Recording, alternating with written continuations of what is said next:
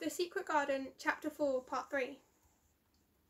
Perhaps it was because she had nothing whatsoever to do that she thought so much of the deserted garden. She was curious about it and wanted to see what it was like. Why had Mr. Archibald Craven buried the key if he had liked his wife so much? Why did he hate her garden? She wondered if she should ever see him, but she knew that if she did, she should not like him, and he would not like her, and that she should only stand and stare at him and say nothing, though she should be wanting dreadfully to ask him why he had done such a queer thing. People never like me, and I never like people, she thought. And I never can talk as the Crawford children could. They were always talking and laughing and making noise. She thought of the robin and of the way he seemed to sing his song at her, and as she remembered the tree top he perched on, she stopped rather suddenly on the path. I believe that tree was in the secret garden. I feel sure it was, she said.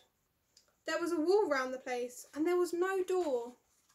She walked back into the first garden she had entered and found the old man digging there. She went and stood beside him and watched him a few moments in her cold little way. He took no notice of her, and so at last she spoke to him. I have been into the other gardens, she said. There was nothing to prevent thee, he answered crustily. I went into the orchard. There was no dog at the door to bite thee, he answered. There was no door there into the other garden, said Mary. What garden? he said in a rough voice, stopping his digging for a moment. The one on the other side of the wall, answered Mistress Mary. There were trees there. I saw the tops of them. A bird with a red breast was sitting on one of them, and he sang. To her surprise, the surely old weather beaten face actually changed its expression. A slow smile spread over it, and the gardener looked quite different. It made her think that it was a curious how much nicer a person looked when he smiled. She had not thought of it before. He turned about to the orchard side of his garden and began to whistle. A low, soft whistle.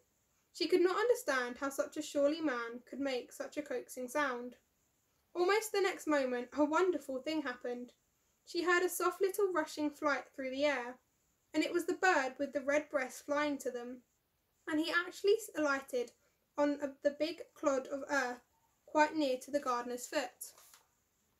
Here he is, chuckled the old man, and then he spoke to the bird as if he were speaking to a child. Where hast thou been, thou cheeky little beggar? he said.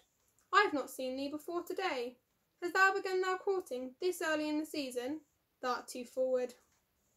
The bird put his tiny head on one side and looked at him with his soft bright eyes, which was like a black dewdrop. He seemed quite familiar and not the least afraid.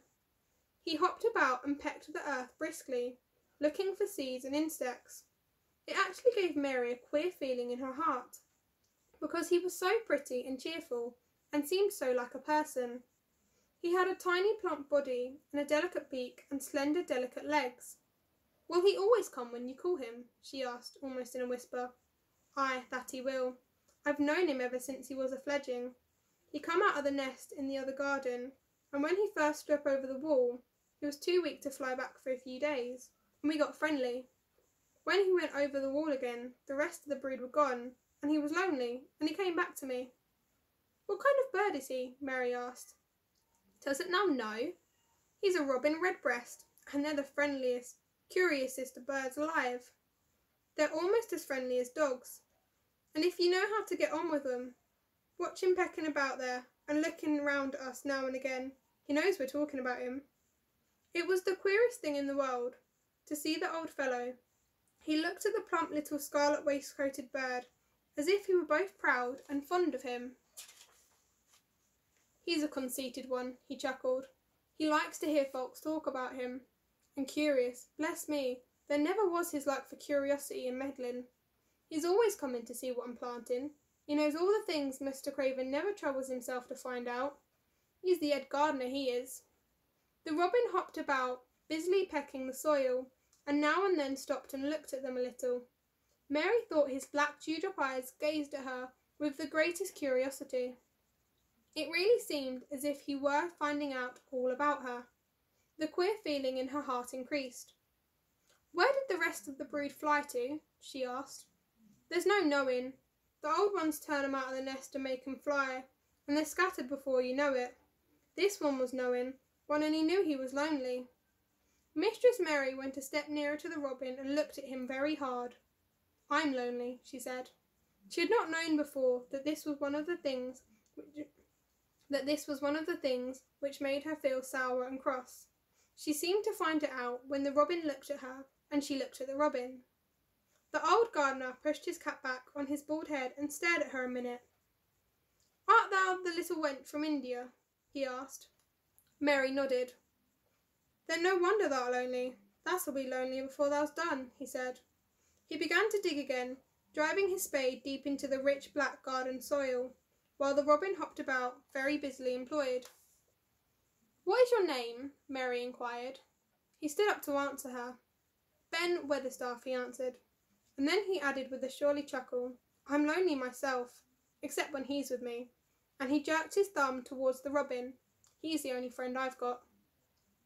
I have no friends at all, said Mary. I never had. My eye didn't like me, and never played I never played with anyone. It is a Yorkshire habit to say what you think with blunt frankness, and old Ben Weatherstaff was a Yorkshire moor man.